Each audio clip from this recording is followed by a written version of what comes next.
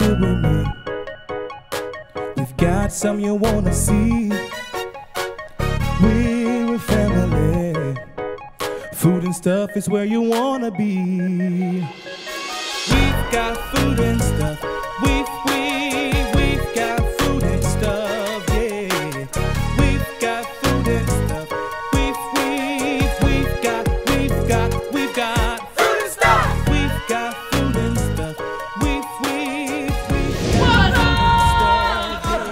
Are back. Food and stuff is back. We are bigger and better than ever, ready for We season two. Y'all ain't ready for season two. My name is Jonathan Lee. And I am Jasper Lane Pippin. And we are your host. We have got some great guests today. We're going to do a show about Aloha Say the Pretty Girls, mm-hmm. opening next Wednesday, September 14th, running through the 17th at the University of Memphis. And we've mm-hmm. got some great food sponsored by Jerry Snowcones. Let's get to it. What's up, everybody, and welcome to the season premiere of Food and Stuff. And today, we are introducing. Cealan Ingram and Diana Mosley are here with us today. Ooh, come on in, y'all. Okay.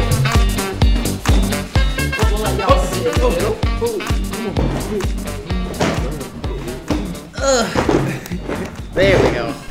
So, thank you guys for coming to Food and Stuff, the season premiere. Thank you for having We're us. super Welcome. excited to have you guys here. I'm so excited. So our food sponsor today is going to be Jerry Snow Cones. Jerry Snow Cones is like super super popular place here in Memphis. They have some of the best snow cones ever. We'll try some of them a little bit later, but they also have some really cool food there, like some fair food and stuff like that. Mm-hmm. So we have our season two food bringer honor. Come on, Trey. So what do we got for us today?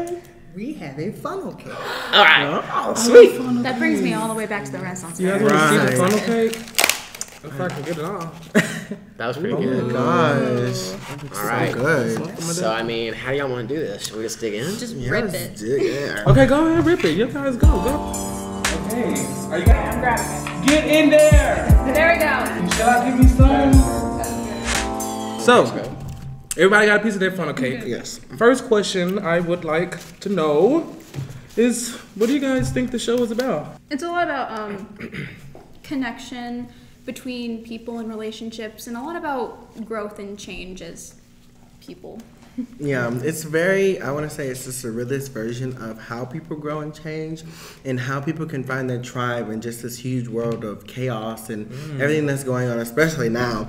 How people can just find their family and their connections throughout the world as they go on about their lives and how they grow into that. I love that. I love that. And it's good because we need to see that. Yes, Amen. absolutely. I don't know. That's We need a some more theater now. That's just bringing people together. Yeah. And not everything has to be so edgy. Yeah. So I'm really excited to I like get to have that, like a fun show. Yeah, um, it's really, really fun, and I love that. You know, when we first started, we really didn't see the connections when we were reading the script. But As we started to act it out and really go into it and dive deep into the script, we really saw how even people that haven't even seen or talked to each other have a huge connection in the show. Yeah.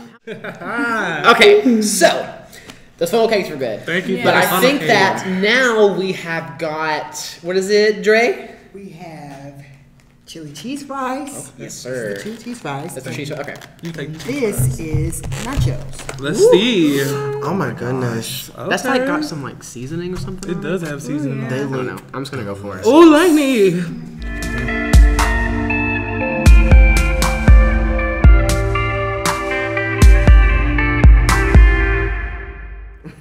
It's okay. Okay. So, I understand that Aloha Say the Pretty Girls is not your typical show. absolutely And not. that has a lot to do with like surrealist storytelling. It's Yes. like I've heard that you guys do like a lot of ambient noises, like trains, and you all make mm-hmm. your own animal sounds and stuff like that. So, just how has it been like creating a play here at the University of Memphis that looks different from a lot of the plays that we normally produce? Well, one of the main things about Aloha is it doesn't exactly have the most linear storytelling. It's so it's like unlinear. it, it's very much just each scene is a different story happening at a time. Okay. And that's been very interesting, but like and at first it was kind of confusing as we were getting into it. Mm-hmm. But then as you you get more into it, you start getting like, oh, it is still trying to do the same thing as regular shows do. Is it still trying to tell its story and it's still trying to tell its moral? And so ultimately it's just the same. It's just got its own little quirks. because of like Yeah. the context of the show and you know the rehearsals and how you everyone is uh like an ensemble show we Yeah. talked about earlier. How did was your process, or how did you come about like learning the plot and like working through those little things? It took a very long time for us to understand the show because More than just the first table read. Yeah. oh, absolutely not. We were asking so many questions, and we were making. I will never forget the memories that we had at the Yeah. time where we come up with conspiracy theories that we had We were for our the break. show. We What were on our break and we ignored our break. It was like, no, here's my theory. What do you mean conspiracy theories? Like that we're in The Sims. we're making this whole thing a Sims Yeah. thing, or that we're like we're playing a video game, and like all these things that go into the show, like why I climb into a terrarium at 13 years old, and um, why I'm at the airport by myself. You There's a lot. There's a lot that goes into it, but like it, it was so much fun, and Patrick was like, it's not a show that you have to try to make sense of. Just watch it and enjoy it, and then you kind of understand Yeah. the plot as you keep going. Okay, cool. It's like unfolding. nonsense. It's like unfolding it. It was Accept it, the nonsense. accept the nonsense. Just embrace it. Yeah. Yes. That's life. Do you think the show like deserves like a second viewing? Absolutely. Yeah. Oh my god. I Always. believe that you have to because especially because there's two uh seatings on the sides of the stage. I feel like watching it on one side of the stage and then coming back and watching it on the other side, you get a completely different perspective Okay, of it. cool. Um, because we split the stage in two worlds, so you know one side is Hawaii, one side is Alaska. So we're you know we're showing you guys different sides, I heard those places.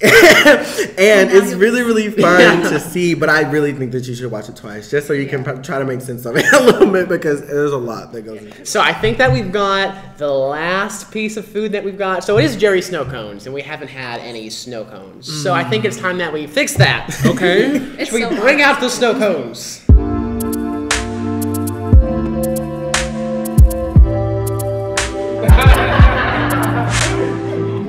Back to Aloha. Yes. So, could you all tell us maybe like something unique or unexpected that like the audience should a little sneak peek of something we can look forward to in the show?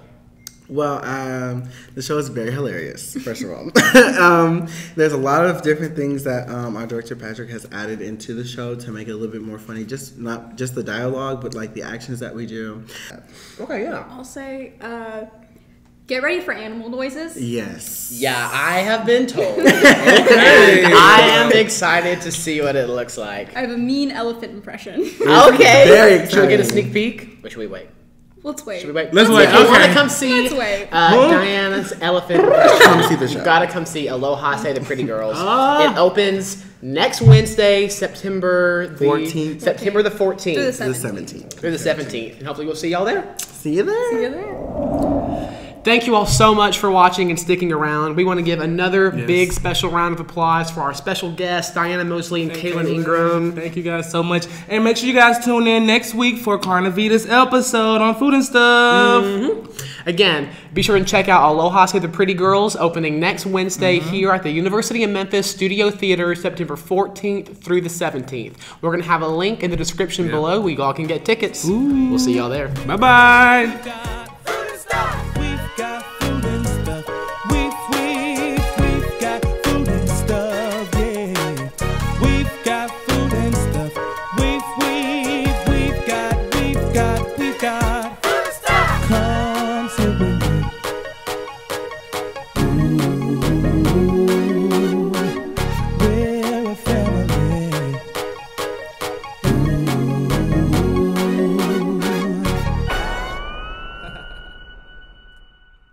Are you um, serious? Um, yeah. I did. Yeah, yeah. I know that. I know that. No, I, so she's a celebrity. I was in a Bologna commercial. she's a celebrity.